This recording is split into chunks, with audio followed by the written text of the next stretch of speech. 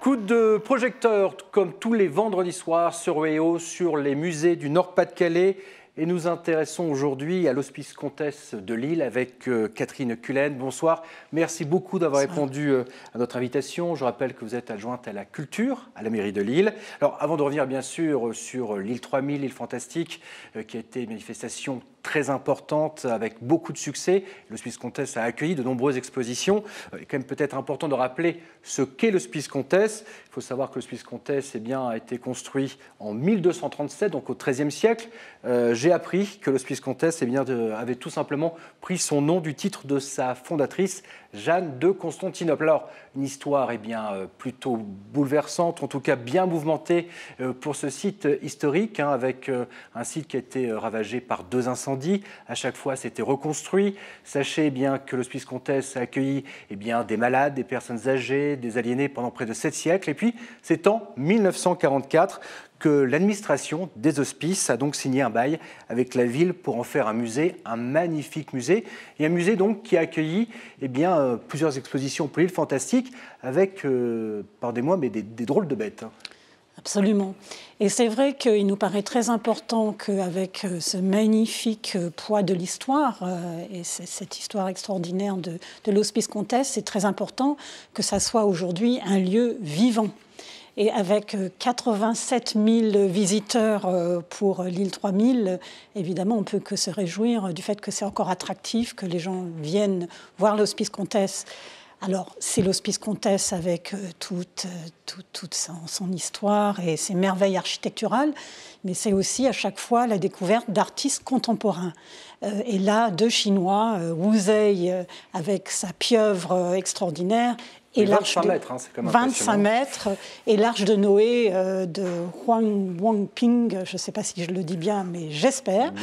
euh, et voilà, effectivement, euh, voilà, un immense succès, beaucoup de familles qui ont amené leurs enfants, bien sûr. voilà, et c'est toujours bien de voir un lieu patrimonial avec autant de monde et ce côté contemporain auquel on tient beaucoup. Voilà, c'est ce qu'on appelle, ce qu'on aime bien dans la région, le patrimoine évolutif, hein, c'est-à-dire qu'à chaque fois, eh bien, les musées, les sites historiques que nous y vont, bah, nous les faisons vivre, et aussi avec parfois de la modernité. C'était quand même un, sacré pari, et comme vous le dites, euh, beaucoup de monde, euh, des Français, mais aussi euh, des touristes certainement étrangers, parce qu'en plus, Hospice Comtesse, il y a une partie historique flamande, donc quoi, des Belges, des Anglais, c'était assez... Beaucoup de Belges et d'Anglais, évidemment du pays du Nord, Danemark, Pays-Bas, mais 70 pays en tout sont venus pour l'île 3000 et donc à l'Hospice Comtesse aussi. Alors, ce qui était très fort aussi avec l'île fantastique, c'est qu'il y avait différentes expositions un peu partout à Lille, mais aussi dans la métropole illoise, hein, où le, cœur en fait, de, l'île fantastique a, pu battre hein, pendant euh, plusieurs mois. Euh, important aussi d'avoir euh, attiré un petit peu les visiteurs sur un peu des chemins de traverse. C'est-à-dire qu'avant l'Hospice Comtesse, on a pu profiter par exemple de cette maison retournée qui pouvait effectivement eh bien, permettre d'être à quelques mètres seulement de l'Hospice Comtesse. C'était aussi ce succès, c'est à chaque fois eh d'avoir ce cheminement où on pouvait très rapidement et très, sur des accès assez proches de retrouver différents sites de, cette manifestation. Voilà, c'est l'idée aussi que bon, on peut rentrer dans des bâtiments euh, pour voir de l'art, mais aussi on peut se promener dans la rue et tomber. C'est un peu le cas de la maison euh, tombée du ciel pour découvrir des artistes euh, et voilà, des, des, événements artistiques. Alors bien sûr, un grand succès pour l'île fantastique, mais il y a d'autres expositions prévues pour 2013. Qu'est-ce que nous allons pouvoir voir à l'Hospice Comtesse cette année?